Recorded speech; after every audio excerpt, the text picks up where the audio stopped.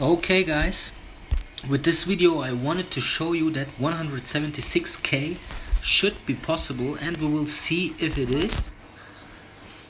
Hopefully. And yes, 176,350 points is possible to build. I'm gonna show you right now. But it also, um, but the build is the same uh, as in my previous video um, we have a full 30 SP across the board, 140 SP.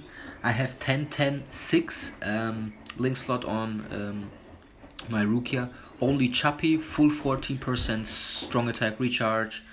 Um, Unohana with 10% uh, only. I have two 4 star golden, uh, normal 4 star Chappies and yeah just in case to clear some rooms um, for example Zembo and Sakura you should finish off with um, with Kokuto because he has a Soul Reaper killer.